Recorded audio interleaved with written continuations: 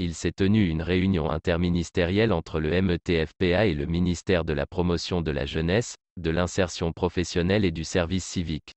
Au cours de cette rencontre, les deux parties ont fait le point d'avancement des travaux des activités communes. Il s'agit notamment du projet d'installation des guichets emploi dans les établissements de l'ETFPA qui vise à élaborer un mode de fonctionnement de ces guichets et à établir une feuille de route aux secrétaires exécutifs aux relations formation, emploi, SERFE, qui seront chargés d'animer ces guichets emploi, du projet de formation au métier de la grande distribution dans le cadre de l'école de la deuxième chance.